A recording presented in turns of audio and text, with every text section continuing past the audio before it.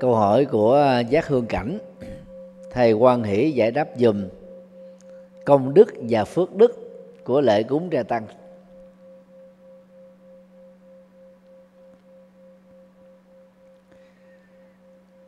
Trong uh, tiếng uh, Bali và Sanskrit đó, khái niệm uh, bunya có khi được uh, chuyển dịch sang tiếng Việt đó, là phước đức có khi được chuyển dịch đó là công đức. Và bunya đó nó bắt đầu bằng những cái việc gieo hạt giống thiện, hạt giống phước, để trổ ra cái kết quả phước báo cho mình ở hiện tại và trong tương lai. Thì trong tiếng Bali và Sanskrit nó còn có một cái chữ khác đó là guna. Guna có khi đó là phẩm chất, có khi đó là đức tính. Nhưng mà nó không phải, đó là công đức hay là phước đức từ thời của à, tổ à, à, huệ năng tức là tổ thứ sáu của thiền tông trung hoa thì cái việc mà phân biệt hai khái niệm phước đức á, nó thuộc về hữu lậu. Và sau khi chết á, người sở hữu nhiều phước báo vẫn tiếp tục tái sinh ở trong ba cõi tức là cõi dục cõi sắc cõi vô sắc và sáu nẻo tức là à, địa ngục ngạ quỷ súc sinh người atula và chư thiện. Còn à, công đức là khái niệm để chỉ cho việc tu tập mà thành quả đạt được không phải là các phước quả mà là để hướng đến sự giác ngộ và giải thoát.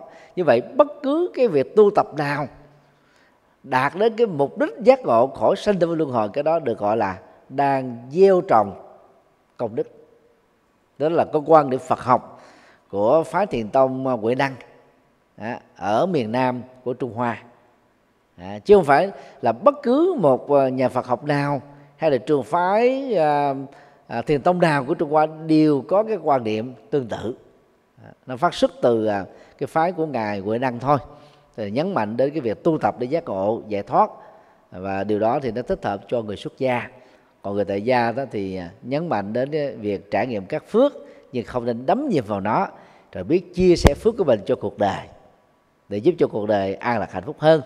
Còn khi nào đó, ai đó không hài lòng với các phước quả của kiếp người, với tư cách là tại gia, có thể chọn con đường xuất gia để giác ngộ giải thoát. Nếu tu tập đúng phương pháp, không gián đoạn nữa chừng. Do đó à, làm lễ cúng dường trẻ tăng thì bản chất đó là chúng ta đang gieo hai nghiệp.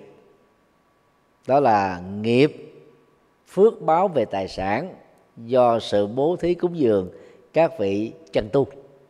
Nhờ đó mà các vị chân tu không phải lao động không phải làm kinh tế thì tâm hướng về cái sự chuyên tu học Phật đến đến chốn tu Phật đến đến chốn sau đó là phụng sự nhân sinh. Thì phước đó là là, là phước tài sản vì mình lấy tiền bạc à, và và tài sản của mình ra để mình cúng mà. Nhân là dân cúng là tài sản thì quả trổ là tài sản thôi. Thứ hai khi quý vị làm việc đó là vì quý vị tôn kính các thành viên của tăng đoàn bao gồm là các thầy các sư cô tu tập à, chuẩn mực. Thì thông qua cái cúng dường cho tăng đó các bạn có thêm cái phước được mọi người kính trọng. Đó là hai cái phước căn bản của cúng dường cho tăng nói theo Phật học của ngài Huệ Đăng. Nói riêng và phái thiền của ngài Huệ Đăng nói chung đó, thì việc cúng dường tre tăng đó hoàn toàn chỉ đạt được phước quả và cụ thể. Phước này là phước tài sản và phước cung kính thôi, chứ không thể đạt được công đức. Cái là giác ngộ giải thoát. Vì giác ngộ giải thoát phải đi con đường tu tập của một người xuất gia, đi đúng bài bản, chứ không phải là đơn giản. Thì đó là cái cái phân biệt riêng của Phật học Trung Quốc còn à, Phật học còn lại trên toàn cầu. À, không có phân biệt hai cái khái niệm đó. Phước báo hay là phước, hay là công đức à, đều dịch thoát nghĩa hoặc là dịch sát nghĩa của chữ, gọi là bunya, ở trong tiếng Bali và Sanskrit thôi.